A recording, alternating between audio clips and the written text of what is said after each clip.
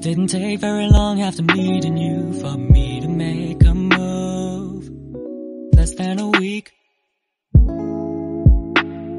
And I told myself not long before that I had to focus on school. And any involvement with a girl I would not seek. But when you showed up, all the self promises and plans I made went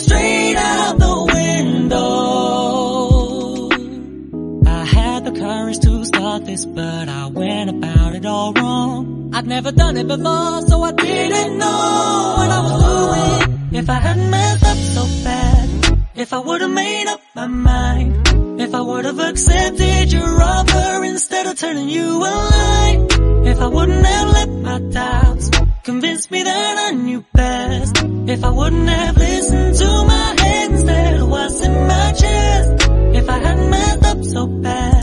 if I'd taken more time to think, then I wouldn't be tearing my hair out, regretting every word I spoke. If I wouldn't have pressured you in the first place, maybe this would be fine. But I messed up so bad and I'm mad cause now we'll never know. All because I messed up.